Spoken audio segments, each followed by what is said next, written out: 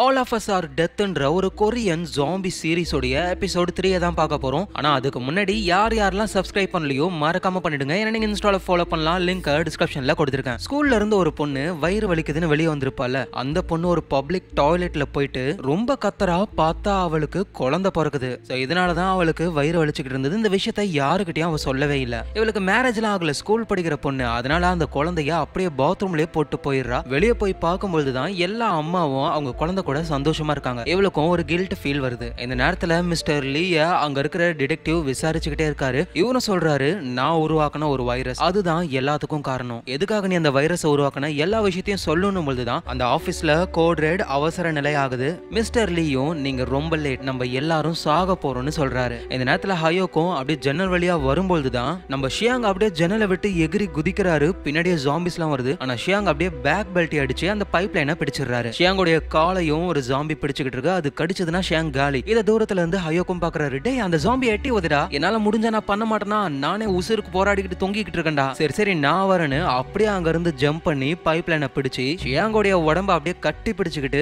அவரோட காலால கீழே இருக்கிற ஜாம்பியை எட்டி உதைக்க அந்த ஜாம்பி கீழே விழுந்ததுக்கு அப்புறம் இவங்க ரெண்டு பேரும் சேஃபா டீச்சர் பார்க் இருக்கிற அந்த இடத்துக்கு போறாங்க. ஹயோக்கும் சியாங்கும் வந்ததுனால அங்க இருக்கிறவங்க சந்தோஷப்படுறாங்க. அந்த கிளீனிங் பொண்ணு இருக்கல தயவு செஞ்சு விண்டோவை க்ளோஸ் பண்ணி வைங்க. உடனே சூவும் ஏய் இப்பதானே ஓபன் பண்ணோம். நீ சொல்ற மாதிரி மூடி வச்சிருந்தா இந்நேரத்துக்கு இவங்கள காப்பாத்திருக்க முடியாது. சரியான செல்ஃபிஷ் அப்படின்னு சூ சொல்ல இவ்வளவு பதிலுக்கு திட்ட மாவள நானும் பாக்குறேன் அப்படின்னு போட்டு அடிக்கிறாரு. உடனே பார்க் டீச்சரும் வந்து ப்ளீஸ் தயவு செஞ்சு சண்டை போடாதீங்க. ஆல்ரெடி நமக்கு எவ்வளவு பெரிய ப்ராப்ளம் இருக்கு. நம்ம இங்க மாட்டிக்கிட்டு இருக்கோம்னு வெளியே சொல்லணும். போலீஸ் வந்தா நம்ம தப்பிச்சு போகலாம். ஆனா டீச்சர் போலீஸ் ஃபயர் டிபார்ட்மெண்ட் எல்லாத்துக்கும் கால் பண்ணியாச்சு. யாரும் இங்க வரவே இல்லை. அப்பதான் ஆஞ்ச சொல்றா டீச்சர் நம்ம ஸ்கூல்ல படிச்ச அந்த ஜூன்ற பொண்ணு கிட்ட இருந்து தான் எல்லாமே ஆரம்பிச்சது. அந்த பொண்ணு இப்ப சிட்டில ஹாஸ்பிட்டலுக்கு போயிருக்கா. மேபி அவள்ல இருந்து நிறைய பேருக்கு பரவி இருக்கலாம்ல அதுவும் கரெக்ட் தான் ஆனா நமக்கு எதுவும் தெரியாதே. டீச்சர் அதான் நம்ம கிட்ட இன்டர்நெட் இருக்குல்ல சீக்கிரம் வாங்க இங்க இருக்கிற சிஸ்டம்ல பாக்கலாம்னு செக் பண்றாங்க. அப்ப அந்த படிப்பாளி பொண்ணு இருக்கால அவ ஹயோ கிட்ட சயின்ஸ் லேப்ல நான் எழுதின நோட்ஸை பாத்தியான்னு கேக்குறா. போன எபிசோட்ல அந்த நோட்ஸை எழுதினது யாருன்னு நான் ஒழுங்கா சொல்லல. அதை எழுதினது இந்த படிப்பாளி பொண்ணு ராதான் இல்ல நான் பாக்கல நான் வேற ஒரு ரூம்ல மாட்டிக்கிட்டு இருந்தேன். ஓ அப்படியான்னு அந்த பொண்ணும் விட்டுறா இந்த டைம்ல அந்த பிரெக்னென்ட் பொண்ணு இருக்கால அவ குழந்தைய பாத்ரூம்லயே வச்சுட்டு ரோட்ல நடந்து வரா. அப்படியே போகும்பொழுது ஒரு போலீஸ் கார் வந்து இவ்வளவு மோதிர மாதிரி வந்து நிக்குது. அங்க இருக்கிற மக்கள் எல்லாம் என்ன ஆச்சுன்னு பரபரப்பா ஓடி வந்து பாக்குறாங்க ஒருத்தர் வீடியோவும் எடுக்கிறாரு. போலீஸ் எல்லாருமே ஜாம்பியா மாறிக்கிட்டு இருக்காங்க. அதுக்குள்ள இருந்த கைதியும் ஜாம்பியா மாறிட்டாங்க. பக்கத்துல இருக்கிற எல்லாரையுமே கடிச்சு ஒவ்வொருத்தரா ஜாம்பியா மாறுறாங்க. வீடியோ எடுக்கிற வரையும் திரத்தி திரத்தி கடிக்க ஆரம்பிக்குதுங்க. இதை பாக்குற அந்த பிரெக்னென்ட் பொண்ணும் வேகமா பாத்ரூமுக்கு போயிட்டு பாப்பாவை எடுத்துக்கிட்டு அங்க இருந்து ஓடி போறான் ப்ராட்காஸ்டிங் ரூம்ல இருக்கிற ஸ்டூடெண்ட்ஸ் எல்லாருமே இன்டர்நெட்ல சர்ச் பண்றாங்க. ஃபேஸ்புக்ல அவருக்கு ஃப்ரெண்ட்ஸே கிடையாது. ஓபன் பண்ணி பார்த்தா அவ்வளவு நோட்டிபிகேஷன் ஃபுல்லா ஜாம்பி பத்தினது தான் அப்பதான் இவங்க இருக்கிற ரூமோடைய ஜன்னல்ல இவங்க தொங்க விட்ட அந்த பைப் லைனுடைய மொனை வந்து பிரான்ஸ் அது பட்டு கண்ணாடி உடைஞ்சு போயிடுது. சியாங்கும் என்னன்னு போய் பார்த்தா அந்த பைப் லைன்ல மாட்டிக்கிட்டு ஒரு ஜாம்பி தொங்கிக்கிட்டு இருக்கு. இவரும் பக்கத்துல இருக்கிற மாப்பு குச்சி வச்சு அடிக்கிறாரு. மாப்பு குச்சும் உடஞ்சிருது. ஷார்ப்பா ஆயிடுது அந்த மோனை. அதை வச்சு குத்தலான்னு ட்ரை பண்ணா சியாங்கால அதை பண்ண முடியல. உடனே ஹயோக்கு வந்து அந்த குச்சை வாங்கி அந்த ஜாம்பியை சாகடிக்க ட்ரை பண்றாரு. ஆனா அப்பவும் சாகல. அப்பதான் இந்த சூ இருக்காருல அவர் ஒரு சிபியூவை கொண்டு வந்து ஜாம்பி மண்டையிலேயே ஓங்கி அடிக்கிறாரு. அது கீழே விழுந்துருது. இப்போதைக்கு எந்த ப்ராப்ளமும் இல்ல. ஆனா ஜன்னல் இப்போ ஓபன்ல இருக்கு. இப்பதான் அந்த கிளீனிங் பொண்ணு இருக்கால அவளோட பேரு நோயன். டேய் சூ உன் மூக்குல இருந்து ரத்தம் வருது இதே மாதிரி தான் ஐசக்குக்கும் வந்தது. அப்படின்னா நீயும் இன்ஃபெக்ட் ஆயிருக்குன்னு சொல்றா. என்னது நான் இன்ஃபெக்ட் ஆயிருக்கேனா? நான்லாம் கிடையாது. அந்த ஹயோக்கு மாப்பு குச்சை வச்சு என் மூக்குலயே அடிச்சிட்டான். அதனால தான் ரத்தம் வருது. ஓ அப்படியா? அப்போ உன் கையில யாரு கடிச்சதுன்னு கேட்கும்போது சோவா அவர் கையை பார்க்கும் பொழுது அடிபட்டு போயிருக்கு. ஏய் இது கம்ப்யூட்டரை நான் தூக்கும் போது என் கை கீச்சிக்கிச்சு. சும்மா போய் சொல்லாத நீ இன்ஃபெக்ட் ஆயிருக்கன்னு அந்த நயோன் பொண்ணு சொல்லிக்கிட்டே இருக்கா. உடனே சியாங்கும் சோவோடைய கையை செக் பண்ணி பார்க்கும்போது அது கடிச்ச மாதிரிலாம் இல்ல. ஜஸ்ட் ஒரு ஸ்கிராச் தான். சோ இதனால எந்த ப்ராப்ளமும் இல்லைன்னு எல்லாரும் செக் பண்றாங்க. ஆனா அந்த நயோனுன்ற பொண்ணு கேட்கவே மாட்றா. அப்பதான் அங்க இருந்த ஒரு பையன் ஆமா ஏன் சிஸ்டம் ஒர்க் ஆகவே மாட்டேங்குது? எப்படி ஒர்க் ஆகும்? அந்த சூ தான் ஜாம்பி அடிக்க சிபிஓ கொண்டு போய் வெளியே தூக்கி போட்டானே. அடா பாவி சூ வேற எதையாவது வச்சு அடிச்சிருக்கலாம்ல. காய்ஸ் ப்ளீஸ் போதும். சூ பண்ணது கரெக்ட் தான். இப்போ நம்ம எல்லாரும் சேஃபா இருக்கோம். அது சூவால தான் அப்புறம் ஏய் கிளீனிங் பண்ண நயோன். ஒழுங்கா சூ கிட்ட சாரி கேளு. நான் எதுக்கு சாரி கேட்கணும்? நீ அவன் இன்ஃபெக்ட் ஆயிருக்கான்னு எல்லாரையும் பயமுறுத்தி விட்டுட்ட. ஆனா அவனுக்கு அந்த மாதிரிலாம் எதுவும் ஆகல. நான்லாம் சாரி கேட்க முடியாது. எனக்கு நல்லா தெரியும். அவன் கை அந்த மாதிரி ஆனதுக்கு காரணம் அந்த ஜாம்பி தான். சூடைய கையை பிடிச்சு அது கிழிச்சுது. எனக்கு தெரிஞ்ச அவனும் இன்ஃபெக்ட் ஆக வாய்ப்பு இருக்கு. உடனே சியாங்கோ ஏ நயோன் உனக்கு சூனா பிடிக்காதுன்னு எங்களுக்கு தெரியும். அதுக்காக இப்படி அவாண்டமா பொய் சொல்லாத. உடனே டீச்சர் பார்க்கும் அவங்க வராங்க. கேஸ் ஒரு நிமிஷம் இருங்க. சோ இங்க பாரு நீ உண்மையிலேயே இன்ஃபெக்ட் ஆகலன்னு நான் நம்புறேன். ஆனா அந்த பொண்ணு நம்பணும். அதுக்காக அந்த ரெக்கார்டிங் ரூம்ல ஒரு பத்து நிமிஷம் இரு போதும். எங்க பாரு நயோன் சூ போயிட்டு வந்ததுக்கு அப்புறம் அவன் நார்மலா இருந்தா நீ அவன்கிட்ட சாரி கேட்கணும் நயனும் ஓகேன்னு சொல்றா. இந்த சூவும் பத்து நிமிஷம் என்ன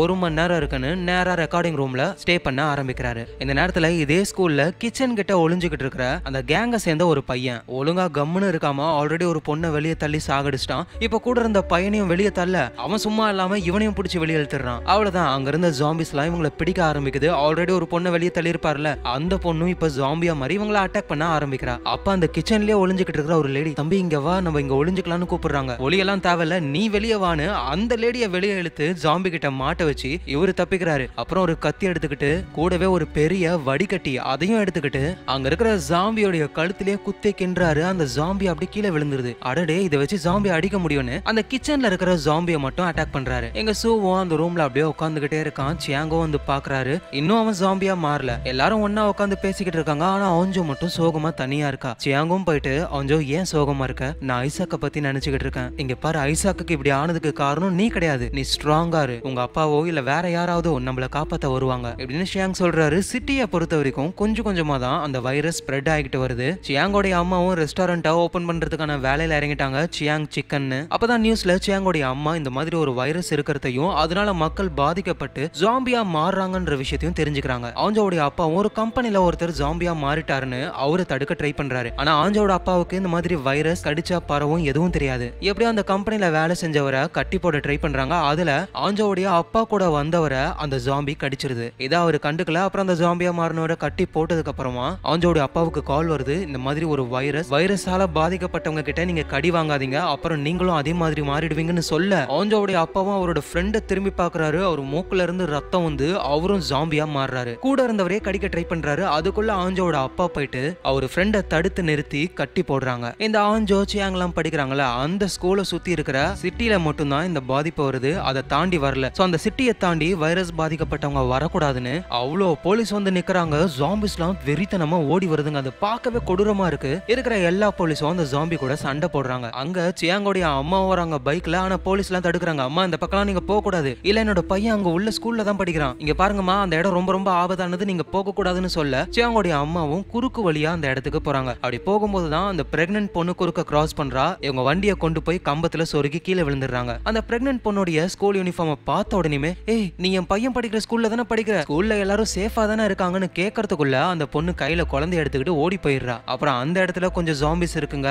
அதுங்க சியாங்கோடைய அம்மாவை பார்த்து திறத்துதுங்க. அவங்கள வண்டியை தூக்கலான்னு பார்த்தா முடியல. வயசான காலத்துல அப்படியே ஓட ட்ரை பண்றாங்க. ஸ்கூலோடைய கேர்ள்ஸ் பாத்ரூம்ல நாலு பேர் மாட்டிக்கிட்டு இருக்காங்க. அந்த மின்னுன்ற பொண்ணு அவ கூடவே ஒரு பையன் அப்புறம் ஹாரின்ற ஒரு பொண்ணு அவ கூடவே இன்னொரு பையன். இவங்க ரெண்டு பேருமே ஆர்ச்சரி ப்ளே பண்ணுவாங்க. கூடவே வில்லு அம்புலாம் வச்சிருக்காங்க. ஸோ இவங்களும் இங்கேயே ரொம்ப நேரம் இருக்க முடியாது. இந்த பாத்ரூமை விட்டு அவங்க வெளியே வரணும். அதுக்காகவும் பிளான் போடுறாங்க. அதுவும் அந்த மின்னுன்ற பொண்ணுக்கும் ஹாரின்ற பொண்ணுக்கும் சண்டை வேற வந்துகிட்டே இருக்கு. எங்க சூவும் ஒரு ஆஃப் அன் அவர் தனியா அந்த ரெக்கார்டிங் ரூம்ல இருக்காரு. வெளியே வர சொன்னா வெளியவே வர மாட்டாரு ஏன்னா பத்து நிமிஷமே போதும். ரெக்கார்டிங் ரூமுக்கு வெளியே சியாங் வாய ஊன்னு காட்டுறாரு. என்னது டே டேய் நம்ம ஆந்தமானு இவரும் விசில் அடிக்கிறாரு. இப்படி ரெண்டு பேருமே ஒரு சாங்க விசில் அடிப்பாங்க. சின்ன வயசுல இருந்தே இதை பண்ணிக்கிட்டு இருக்காங்க. டேய் சூ நீ ஜாம்பியா மாறின உன் சாவு ஏன் கையில தானு வெளியே அவரு விளையாடுறாரு. சீக்கிரம்டா டைம் ஆயிடுச்சு நீ ஜாம்பியாலாம் மாறல அப்படின்னு வெளியே இருந்து சியாங் கூப்பிடுறாரு. கண்டுக்கல டீச்சர் போய் கூப்பிடுறாங்க கண்டுக்கவே இல்ல. ஏ நயான் உன்னாலதான் எல்லா ப்ராப்ளமும் ஒழுங்கா போய் அவங்ககிட்ட சாரி கேளுன்னு சொல்ல. அந்த நயானும் அப்படியே உள்ள போறா. உள்ள இந்த நயானும் சூவும் பேசுற விஷயம் வெளியே யாருக்கும் கேட்காது. அப்படியே சூவோடைய கையை பிடிச்சு அவ கிட்ட இருக்கிற கர்ச்சிஃபை வச்சு அந்த ஸ்கிராச் ஆச்சுல அதை தொடச்சு விடுறா. உங்ககிட்ட எல்லாம் நான் சாரி எல்லாம் கேட்க முடியாது. இன்னும் ஆஃப் அன் அவர் கூட இருடா அறிவு கட்டவனேன்னு வாயில வந்ததெல்லாம் திட்டுறா. வெளியே இருந்து பாக்குற எல்லாருக்குமே ஏய் அவங்க ரெண்டு பேரும் பேசிக்கிறாங்க சாரி கேக்குறாங்க போல ஃப்ரெண்ட் ஆயிடுவாங்க. அப்படின்னு நினைக்கிறாங்க. ஆனா உள்ள போயிட்டு அவ சூவை இன்னும் திட்டுறா. கோவப்பட்டு சூவும் வெளியே வந்து அவ என்கிட்ட சாரி கேட்கவே இல்லை என்ன ஓவரா பேசுறான்னு சொல்ல. அங்கேயே பஞ்சாயத்தும் நடக்குது. அங்க இருக்கிற எல்லாருமே நயோன்னு திட்ட ஆரம்பிக்கிறாங்க. அவ அப்பவும் சொல்றா நான் சொன்னது உண்மை உண்மைதான். அவன் ஜாம்பியால இன்ஃபெக்ட் ஆயிருக்கான்னு சொல்லி முடிக்கிறதுக்குள்ள சூடைய மூக்குல இருந்து ரத்தம் வருது. அவரோட உடம்பே ஒரு மாதிரி மாறுது. அவரும் ஜாம்பியாக மாறுறாரு. இதை பார்த்துட்டு அப்பனா நயோன் சொன்னது உண்மைதான்னு எல்லாரும் நினைக்கிறாங்க. ஆனா நயோனோட முகம் ஏதோ கிரிமினல் வேலை பண்ண மாதிரியே இருக்கு. இப்ப இங்க இருக்கிறதுலயே சியாங் தான் ரொம்ப கஷ்டப்படுறாரு. ஏன்னா சு அவரோட பெஸ்ட் ஃப்ரெண்டு அப்படியே கண்ணெல்லாம் ரெட் ஆகி அவரோட பார்வையே மாற ஆரம்பிக்குது. அவரு ஜாம்பியா மாறதான் போறாரு. நம்ம எப்படி ஜாம்பியா மாறுறோம் அப்படின்னு சூவுக்கே புரியல. சியாங்கும் இவ்வளவு நேரம் நீ நல்லா தானே இருந்த? திடீர்னு எப்படி உனக்கு இப்படி ஆச்சு? அந்த நயானும் அவங்கிட்ட பேச்சுவார்த்தை நடத்தலாம் டைம் இல்ல. சீக்கிரமா அவனை வெளியே அடிச்சு திறத்துங்க. ப்ளீஸ் ப்ளீஸ் வேணாம். யாரும் என்ன அந்த மாதிரி பண்ணாதீங்க. நானே போறேன். நான் உங்க யாரையும் எதுவும் பண்ண மாட்டேன். நம்ம எல்லாரும் ஃப்ரெண்ட்ஸ் தானே.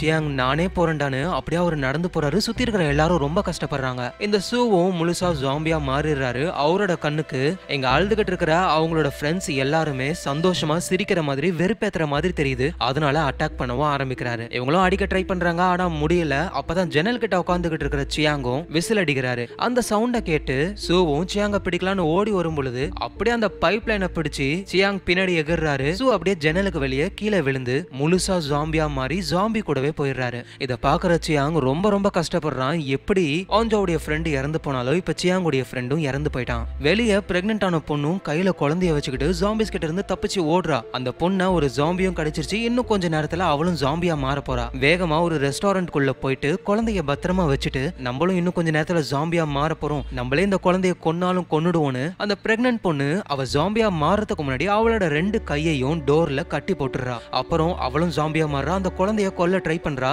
ஆனா கை கட்டி போட்டு இருக்கிறதுனால அவளால பாப்பாவுக்கு பக்கத்துல வர முடியல. அவஞ்சோடைய அப்பாவும் ஒரு பெரிய ஆபீஸ்ல மாட்டிக்கிட்டு இருக்காரு. அங்க ஒரு விஐபியும் இருக்காங்க. ஜாம்பியா மாறின ரெண்டு பேரை கட்டி போட்டு வச்சிருக்காங்க. அந்த விஐபி லேடியும் இன்னும் எவ்வளவு நேரம் நம்ம இங்கே இருக்கணும்? மேடம் ஹெலிகாப்டர் நம்மள காப்பாத்த வரும். ஆனா அதுக்கு கொஞ்சம் டைம் ஆகும். அப்படின்னு சொல்லிட்டு அவஞ்சோவுக்கு கால் பண்றாரு. ஆனா அவஞ்சோ பிக் பண்ணவே இல்ல. உடனே வாக்கி டாக்கி எடுத்து ஃபயர் டிபார்ட்மெண்ட்டை சேர்ந்தவங்க கிட்ட ஹை ஸ்கூலுக்கு என்ன ஆச்சுன்னு யாராவது சொல்லுங்க அப்படின்னு எவ்வளவு கேட்டும் எந்த ரிப்ளைவும் இல்ல. சோ ஆஞ்சோ நல்லா இருக்காளா இல்லையான்ற கஷ்டத்திலேயே ஆஞ்சோடைய அப்பா இருக்காரு. எங்க ஆஞ்சோ சியாங் எல்லாரும் ரொம்ப சோகமா இருக்காங்க. சோ இந்த மாதிரி மாறிட்டானு. அரை மணி நேரம் நல்லா இருந்தான் திடீர்னு மாறிட்டானே அப்படின்னு பேசும்போதுதான் அங்க இருக்கிற படிப்பாளி பொண்ணு ரா எனக்கு புரிஞ்சு போச்சு. எல்லாத்துக்கும் காரணம் இந்த நயோன் தான். ஏய் என்ன சொல்ற? நயோன் என்ன பண்ணா? நீங்க எல்லாரும் ரெக்கார்டிங் ரூம்ல இருக்கிற ஷூவை பார்க்கும் பொழுது இந்த நயோன் அந்த மாப்பு குச்சில இருக்கிற ரத்தத்தை தொடச்சா. அந்த அந்த குச்சியை வச்சுதான் இன்ஃபெக்ட் ஆன ஒரு ஜாம்பியை நம்ம அட்டாக் பண்ணோம். அதோட ரத்தம் அந்த குச்சியில இருந்தது. அதை கர்ச்சிஃப்ல தொடச்சி அந்த ரத்தத்தை சூவோட கையில அடிபட்டு இருந்ததுல அதுல தடவி விட்டா. எல்லாத்துக்கும் காரணம் இவதான்னு சொல்ல எல்லாரும் ஷாக் ஆகுறாங்க. ஏய் சும்மா போய் சொல்லாத. நான்லாம் அந்த மாதிரி ஒன்றும் பண்ணவே இல்லை. ஓ அப்படியா? உன் பேக்கெட்ல தானே இருக்கு அந்த கர்ச்சிஃப் அதை கூட. அப்படின்னு இந்த ரா அதை எடுக்க ட்ரை பண்றா. அந்த பொண்ணு தள்ளி விடுறா. கடுப்பான ரா பொழிச்சுன்னு விடுறா. நயானோ அந்த கர்ச்சிஃப் எடுத்து தூக்கி போட. அதுல பிளட் கரை இருக்கு. பாத்தீங்களா? அந்த மாப்பு குச்சியில இருந்த பிளட் கரை தான் இது. அது ஒன்னும் அந்த கரை கிடையாது.